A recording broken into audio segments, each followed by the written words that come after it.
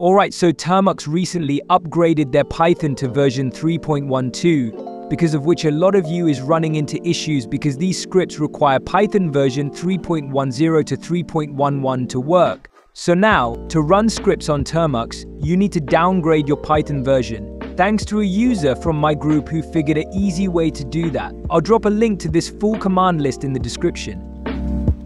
Alright, first you need to uninstall current Python from your system. Use this command to remove Python. Alright now, run these commands one after another to install an older version of Python that can run the scripts. A link to the full list of commands will be given in the description.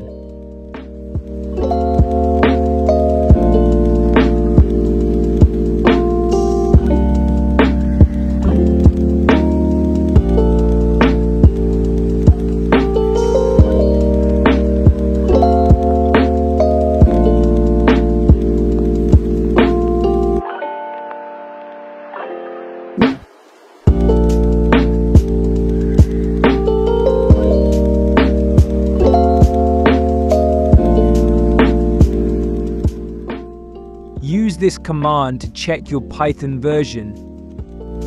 To use the pip and Python command, all you need to do is add 3.10 at the end of the word like this.